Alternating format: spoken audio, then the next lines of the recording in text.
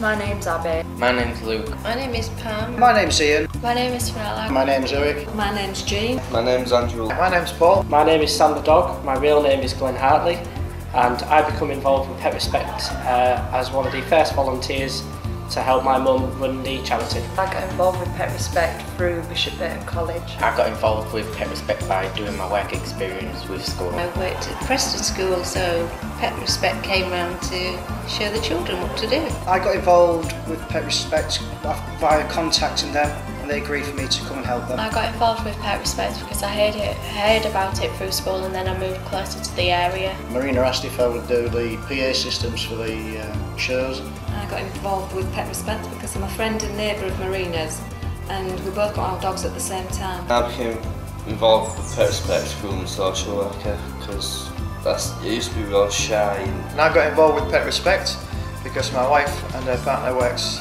with the dogs.